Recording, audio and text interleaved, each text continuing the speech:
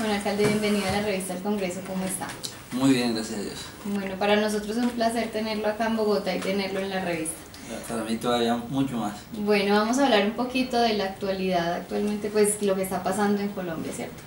¿Cómo se ha visto afectado el municipio de Arboletes con el paro camionero y cómo ve usted esas salidas, bien o no, entre el gobierno y los camioneros? Bueno, usted sabe que eso es una problemática muy, muy seria. Eh, un paro en cualquier, eh, digamos, eh, sector de la producción del país afecta, de hecho, a toda la comunidad, a toda la ciudadanía.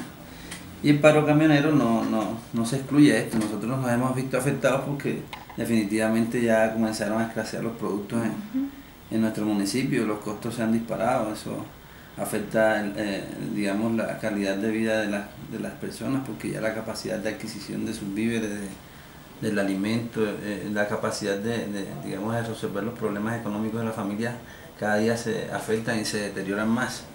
Entonces, si vemos que este paro camionero afecta eh, de manera importante la economía y la, la estabilidad de la familia. Claro que sí. ¿Cómo ve en este momento? Ya llevamos más de 40 días y el gobierno y los camioneros no llegan a un acuerdo.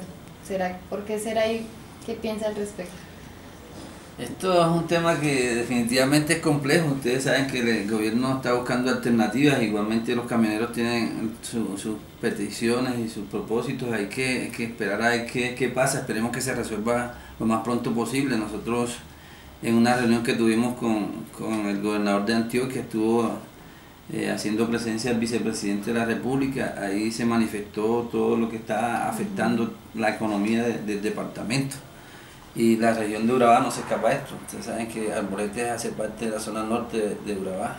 Estamos en Urabá y Urabá es una de las zonas más prósperas de, Antioquia. Y nosotros estamos convencidos de que este paro pues, afecta a toda la economía del departamento y del país. Bueno, alcalde, la segunda preguntita. ¿Cómo ve usted el proceso de paz que se viene ya con el plebiscito que se, que se aprobó ayer? ¿Se siente preparado el municipio de Arboletes en cuanto a la pedagogía de la paz para recibir este proceso? Lo que hay es voluntad de que se den los procesos. Nosotros este, sabemos que este país necesita la paz.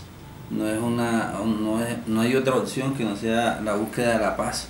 Y cualquier esfuerzo que se haga en torno a la búsqueda de la paz va a ser poco porque es un patrimonio que siempre debemos buscar y luchar para conseguirlo.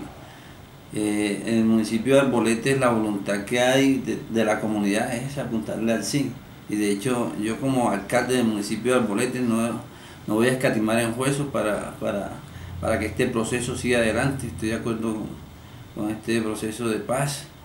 Estoy acompañando al presidente Santos, lo acompañaré hasta el final en el tema de la paz porque sabemos que es algo que es muy importante no solamente para Bolete, para la región de Urabá que ha sido azotada por, por la violencia duramente. Eh, allá es donde hemos puesto la mayor cantidad de víctimas en, eh, en, el país y nosotros no podemos ser eh, indiferentes a esta gran propuesta que tiene el presidente.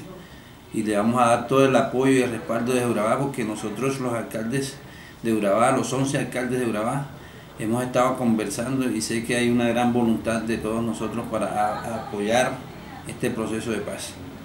Alcalde, muchísimas gracias y bienvenido nuevamente a la revista. gracias a todos ustedes por invitarme.